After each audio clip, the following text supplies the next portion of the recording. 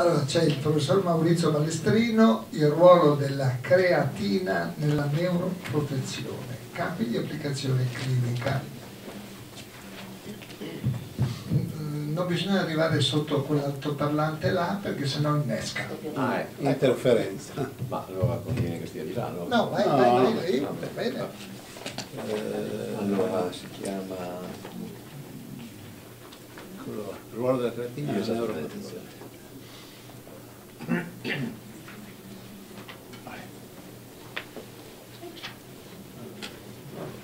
Questo puntatore.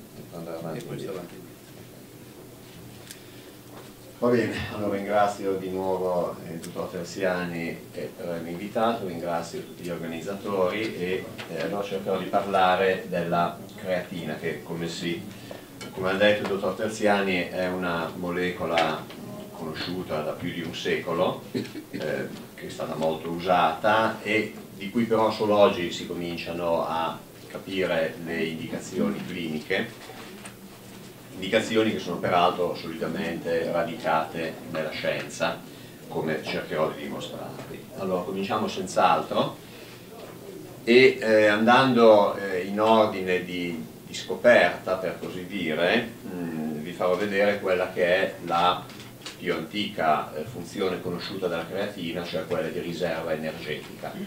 Allora questa è la eh, creatina, la quale eh, è in equilibrio col suo ehm, omologo fosforilato che è la fosfocreatina, cioè in altre parole creatina e fosfocreatina sono in equilibrio e si trasformano l'una nell'altra. In che modo? La creatina prende dall'ATP questo gruppo fosforico il quale va a attaccarsi a questo gruppo amidico e in questo modo crea la fosfocreatina. Eh, la fosfocreatina una- è una riserva energetica, questo legame eh, contiene una mh, carica energetica che è maggiore di quella dell'ATP.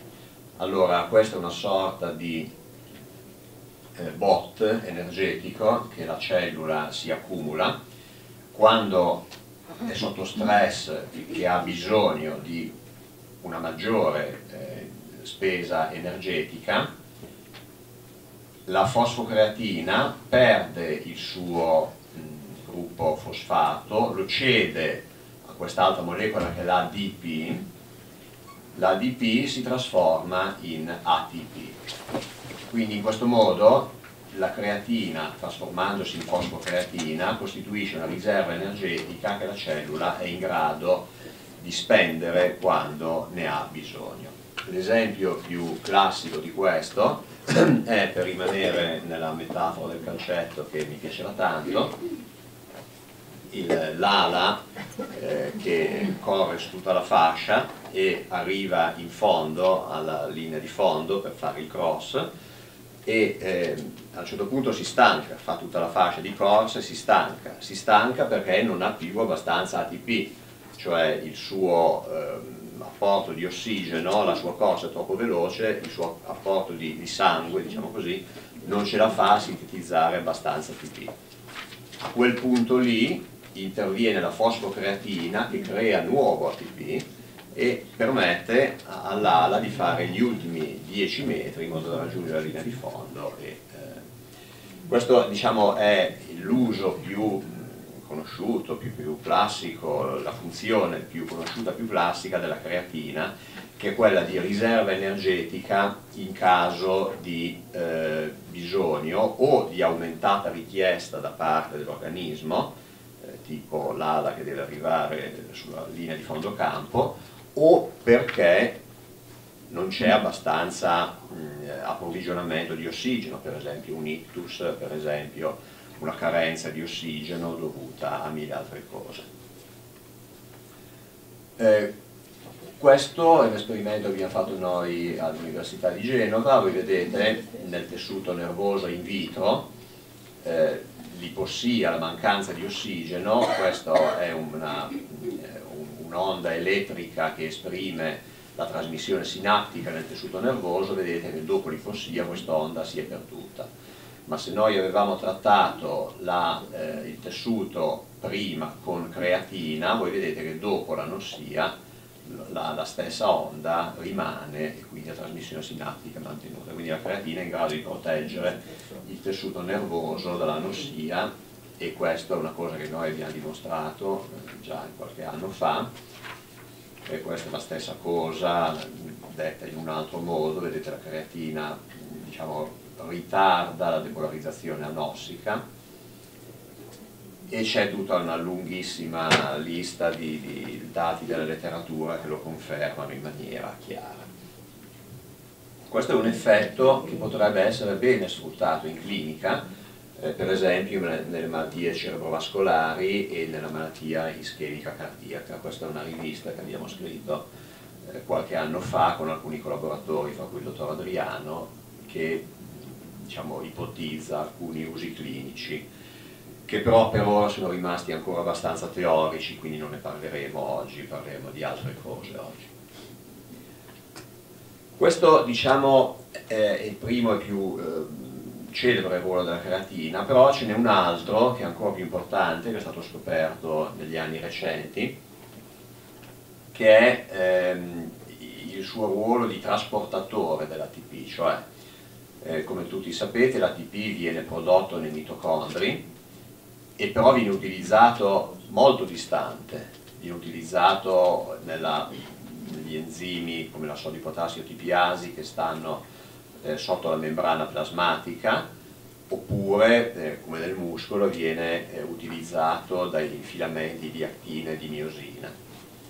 Allora, eh, l'ATP ha il problema che deve andare dal mitocondrio a dove viene utilizzato e questo trasporto è garantito, si è scoperto, dalla creatina, cioè la creatina eh, prende su di sé il fosfato dell'ATP, si trasforma in fosfocreatina, sotto questa forma viaggia tutto il citoplasma fino a dove deve arrivare, a questo punto qui cede di nuovo, come abbiamo visto prima, il suo fosfato, l'ADP, quindi riforma ATP. Questo se vogliamo è un trucco biochimico cui, eh, con cui la cellula riesce in pratica a portare l'ATP da dove è prodotto a dove viene utilizzato. E questa è probabilmente la funzione più importante della creatina, eh, perché avviene tutti i giorni in eh, tutte le cellule, soprattutto in quelle ad alto fabbisogno energetico come i neuroni, i mus le cellule muscolari e le cellule del cuore. Eh, in questo momento nessuno di noi è in anossia, nessuno di noi sta facendo corse, eh, nessuno di noi ha un fabbisogno energetico eccessivo, però tutti noi stiamo utilizzando per la nostra funzione normale l'ATP e la creatina ci garantisce la eh, disponibilità di ATP nelle sedi in cui, eh, diciamo, si, eh, in, in cui, deve essere utilizzato. Questo è tanto vero che negli ultimi vent'anni si sono scoperte delle malattie rare, però ben concrete, in cui non c'è creatina a livello cerebrale e questi eh, bambini poi diventano anche adulti, hanno dei gravissimi sintomi neurologici, sono ritardati mentali, hanno un deficit del linguaggio molto importante e ehm, hanno epilessia e quindi hanno dei gravissimi deficit neurologici legati al fatto che nel neurone la creatina non fa più questa cosa qua. Quindi diciamo mh, la creatina è indispensabile per il funzionamento soprattutto delle cellule ad alta eh, spesa energetica. Oltre a questo mh, ci, ci, sono delle altre ulteriori funzioni della creatina che si sono dimostrate nel corso degli anni. La prima è di facilitare la differenziazione di nuove cellule muscolari. Eh, qui ci sono due, due fra i tanti articoli che lo dimostrano e non solo, ma ha anche proprietà antiossidanti. E ehm, probabilmente non ho messo la diapositiva, ma c'è anche, diciamo, facilita anche la, ehm, la, la differenziazione di nuovi neuroni. per esempio nella differenziazione delle cellule GABAergiche l'effetto della creatina è molto importante. Quindi diciamo questi sono i ehm, eh, dire, ridotte all'osso sono le funzioni biologiche della creatina. Come vedete sono molto importanti e soprattutto diciamo interessano funzioni molto basali delle cellule. Quindi. Allora, ehm, sulla base di tutte queste evidenze sulla necessità, utilità, importanza della creatina, eh, si è sviluppata tutta una scienza, una serie di ricerche che hanno eh, diciamo, studiato la possibilità di supplementare la creatina per correggere diverse funzioni patologiche.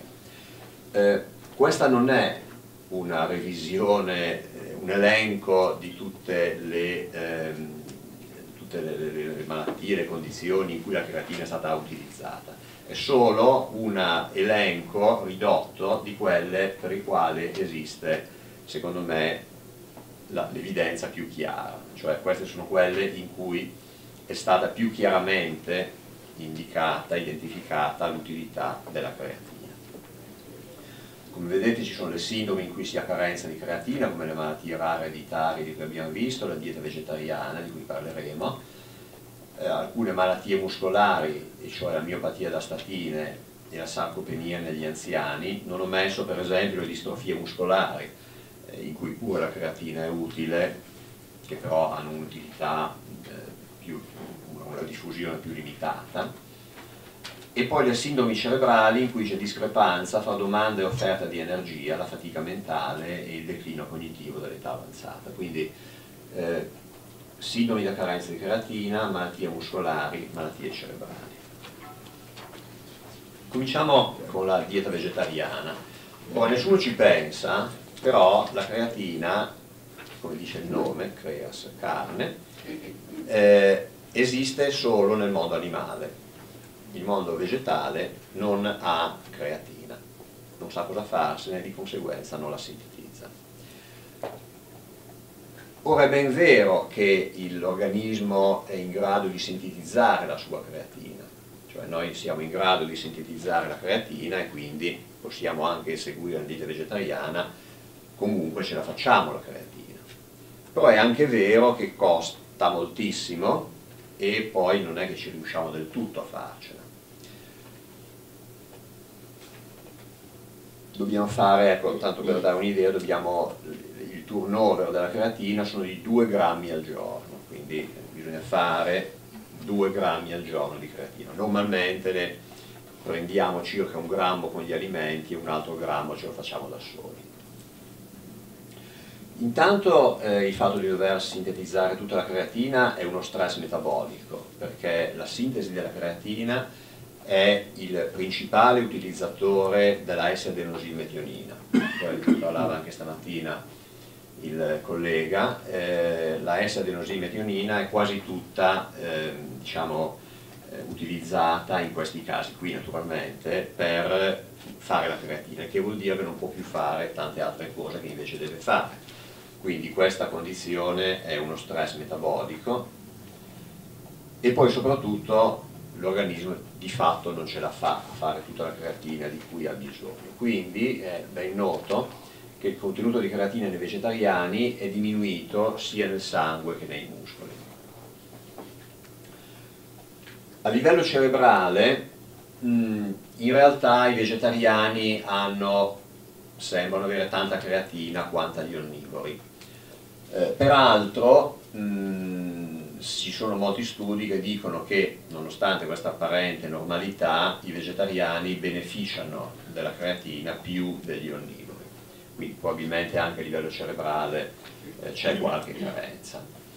Eh, apro solo una piccola parentesi per dire che eh, la creatina è contenuta anche nei derivati animali come latte e uova, però solo in minima quantità, quindi vegani proprio non ne prendono niente.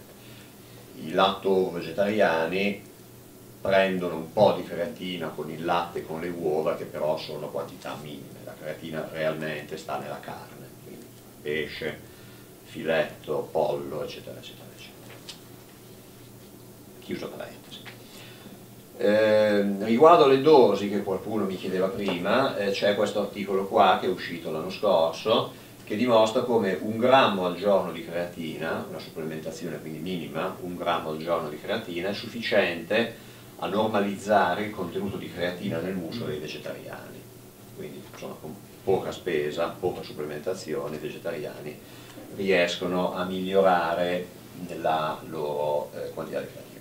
Questo credo sia particolarmente importante in quelli che fanno eh, attività muscolare o attività cerebrale intensa, quindi persone che fanno sport o persone che fanno lavori pesanti o persone che devono studiare per gli esami molto intensamente, eccetera, eccetera.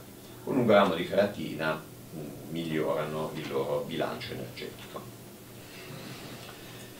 Cambiando eh, pagina, e andando invece nel muscolo, eh, una delle condizioni in cui la, mio, la, la, creatina si è dimostrata efficace è la miopatia da statine.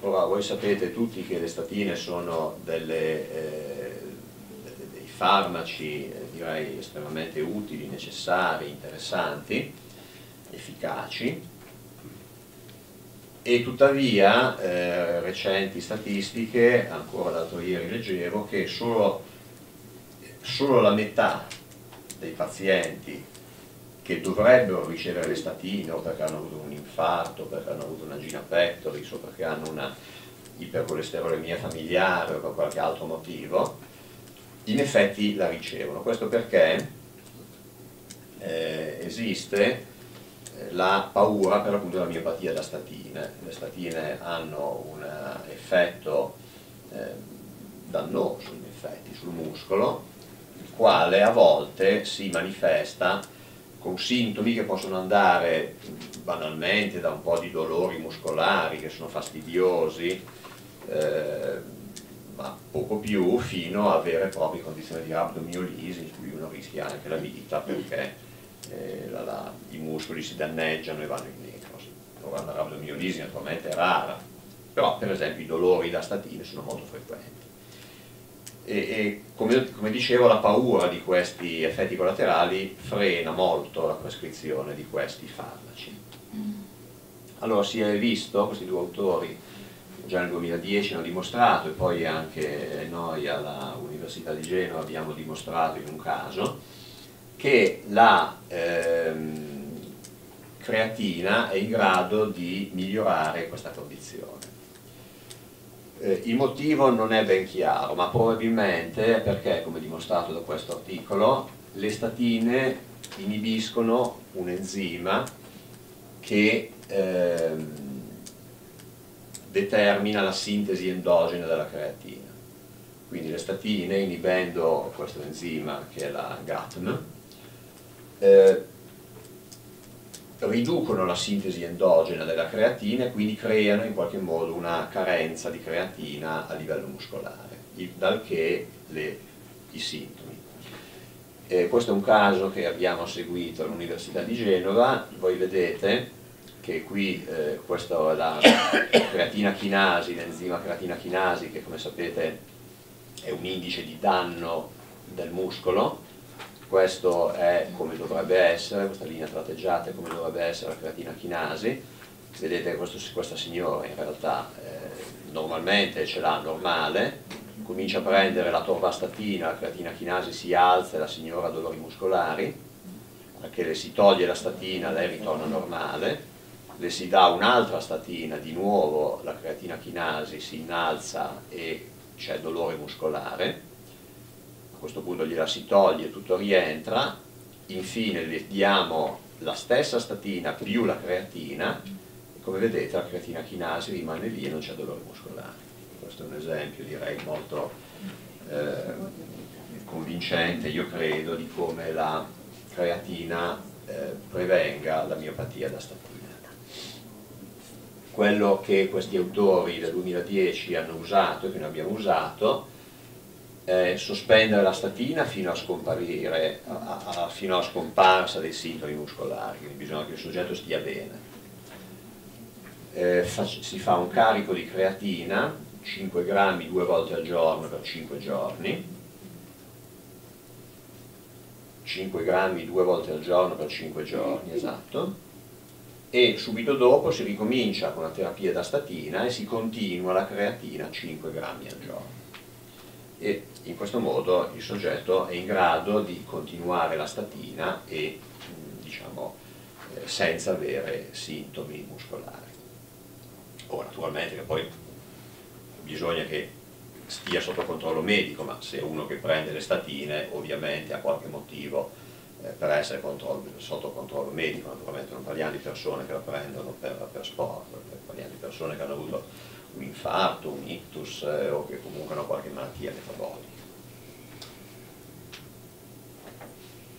L'altra grande indicazione della creatina nelle malattie muscolari è la sarcopenia negli anziani. Come voi sapete, gli anziani, per i motivi più vari, vanno incontro a una eh, atrofia della massa muscolare, quindi riduzione della massa magra, la quale è una condizione molto marcata che è fonte di, di, di, di danni perché diminuisce la forza muscolare e soprattutto eh, mette il soggetto a rischio di cadute, quindi sapete quanto pericolose sono le cadute negli anziani.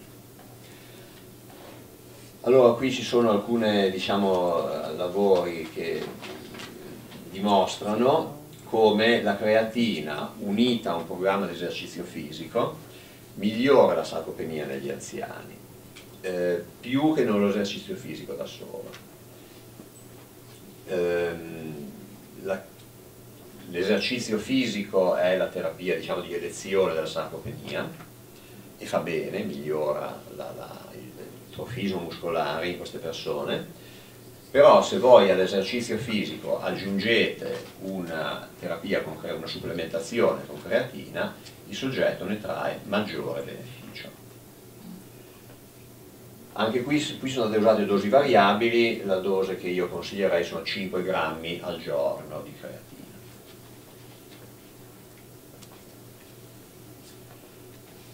Cambiamo ancora pagina e andiamo nel sistema nervoso centrale e parliamo della fatica mentale. Ora, la fatica mentale è un termine che è stato ovviamente mutuato eh, dalla, dallo sport, eh, dal, dal muscolo eh, che però diciamo, ha una sua eh, dignità. Noi sappiamo che man mano che i neuroni si attivano eh, utilizzano maggiori quantità di ossigeno, tant'è che laddove i neuroni sono attivati noi possiamo vedere con la risonanza magnetica funzionale, con vari test che aumenta l'apporto di sangue e si può vedere che man mano che i neuroni si attivano il, loro metabolismo si modifica, si abbassa per esempio il pH. E quindi diciamo non è solo esperienza comune che dopo un po' che pensiamo ci stanchiamo, ma è anche un dato biochimico che i neuroni vanno incontro a modificazioni metaboliche che vengono poi percepite come fatica.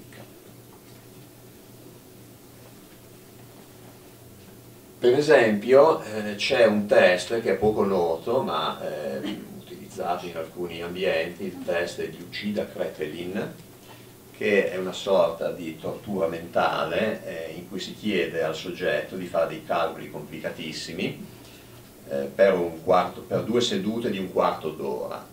Eh, chi sopravvive alla prima seduta, dopo 5 minuti di intervallo, fa la seconda seduta e dopo, 30, dopo 15 più 15 minuti di questo test un po' sadico, eh, per esempio questo signore ha dimostrato che ehm, è diminuita la fosfocreatina cerebrale, quindi il cervello ha dovuto fare ricorso alla sua eh, scorta energetica eh, per fare questo test e che più la fosfocreatina cerebrale era diminuita, più il paziente malato, soggetto, eh, lamentava stanchezza, affaticamento cerebrale. Quindi quella sensazione soggettiva di affaticamento cerebrale, che noi conosciamo bene, si associa a una eh, diminuzione della fosfocreatina cerebrale. Tutti questi signori qua eh, hanno eh, dimostrato che la somministrazione di creatina migliora le prestazioni a questo test, cioè chi prende creatina è in grado di fare questo test in maniera più efficiente, con meno errori. Eh, io qui ho messo solamente la citazione essenziale naturalmente, eh, se qualcuno volesse gli articoli eh, in estenso non ha che da chiedervi, beh volentieri glieli mando, eh, quindi se qualcuno mi vuole scrivere o telefonare, poi lascerò il mio indirizzo di posta elettronica nell'ultima diapositiva, chi vi vuole, beh volentieri mando. Le dosi che hanno usato questi signori eh, vanno da 5 a 8 grammi al giorno.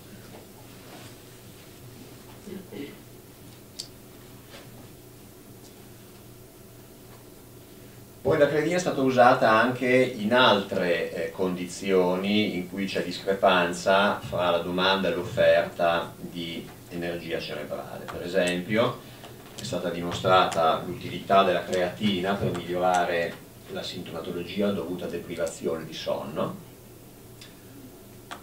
Eh, questi signori hanno dimostrato che la creatina migliora le prestazioni cognitive in caso di riduzione di ossigeno nell'atmosfera riduzione di ossigeno nell'atmosfera, scusate l'errore.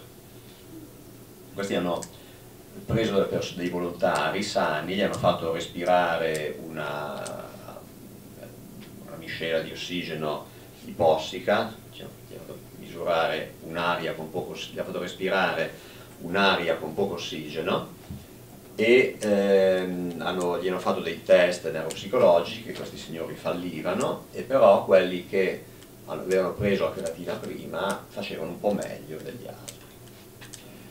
Tutte le dosi usate in questo caso vanno sempre da un minimo di 5, 5 grammi al giorno, in questa indicazione proprio il minimo sindacale, fino anche a 20 grammi al giorno, e poi parleremo della sicurezza eh, di queste dosi. Quindi riassumendo, per quanto riguarda il sistema nervoso centrale, si può suggerire la creatina nei casi di affaticamento cerebrale. Penso agli studenti eh, che studiano per dare gli esami all'università o anche alla maturità, eh, i manager in periodi di superlavoro mentale e così via. In casi di deprivazione di sonno, come il jet lag, la carenza di sonno, la carenza di ossigeno atmosferico, che eh, per fortuna è rara, ma per esempio voi sapete che in alta montagna, al di sopra di 2000 metri, l'ossigeno comincia a diminuire, quindi uno può andare incontro anche mal di montagna e anche errori tecnici dovuti a carenza di ossigeno, soprattutto se non è ben acclimatato. Quasi finito. Le dosi vanno da 5 a 20 grammi al giorno. Infine, eh, l'altra condizione è il declino cognitivo nell'età avanzata. Qui non parliamo di malattia di Alzheimer, che è una vera e propria malattia, non parliamo neanche della demenza frontotemporale e di altre cose, parliamo di quel normale eh, declino cognitivo che avviene nell'età avanzata. Questo perché nell'età avanzata c'è una fisiologica diminuzione dell'energia cerebrale, l'ATP diminuisce, il flusso sanguigno diminuisce, tutto diminuisce. Allora eh, questi, questi signori nel 2007 hanno fatto uno studio controllato con placebo in cui hanno somministrato creatina a persone di 76 anni di età media e hanno visto, controllandolo contro placebo, che quelli trattati con la creatina avevano punteggi significativamente migliori rispetto ai, ai controlli numerosi test neuropsicologici. Questo perché anche l'età avanzata riduce la, il scarico eh, energetico della cellula nervosa e quindi eh, si può avere questo beneficio. Due parole, e poi ho finito, sulla dose, la sicurezza e sulle cautele della creatina. Allora, la dose efficace nella maggior parte delle indicazioni è sui 5 grammi al giorno. Diciamo, da 5 grammi al giorno in su, ma 5 grammi al giorno cominciano già a essere una dose efficace si sono state utilizzate in letteratura dosi fino a 20 grammi di eh, creatina al giorno.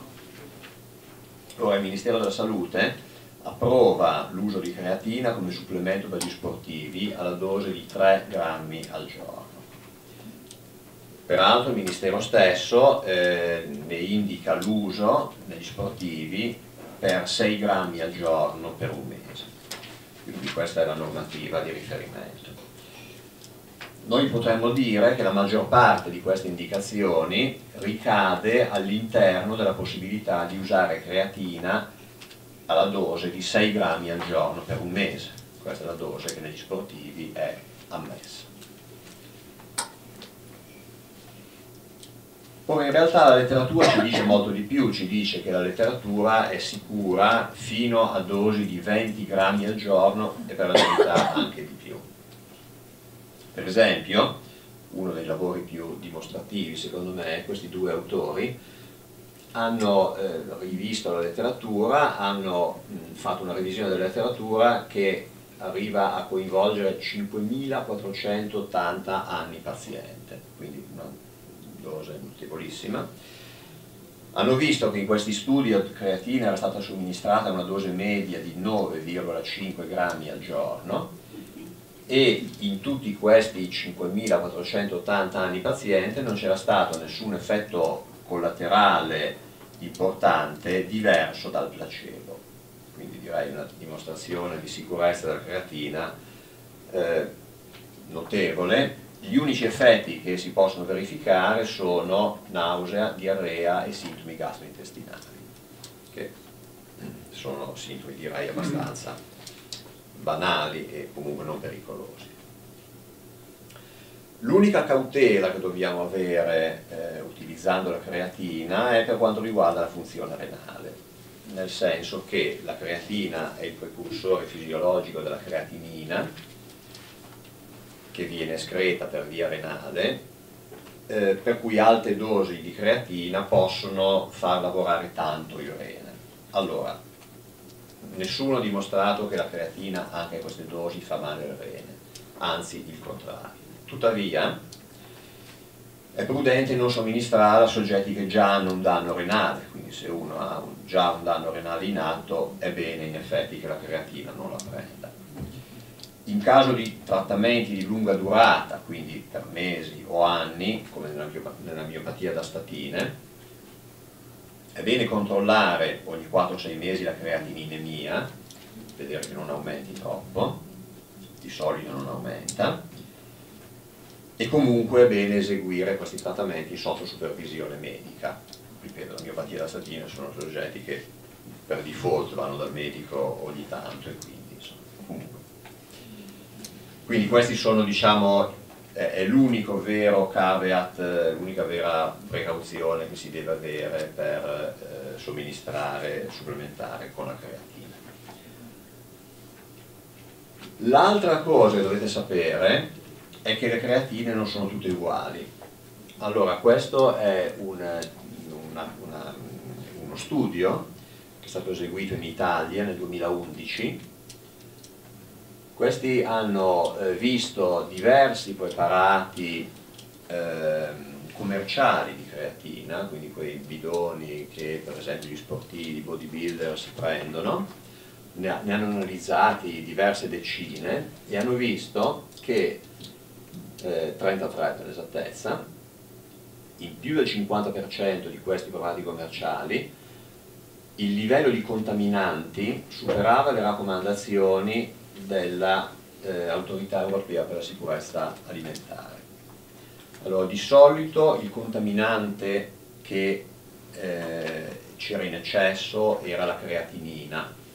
Ora, la creatinina in effetti non è dannosa di per sé, però prendere la creatina, un grammo di creatina e sapere che ce n'è dentro non so quanti centigrammi o decigrammi di creatinina, effettivamente non è una buona notizia e almeno la metà aveva troppa creatinina.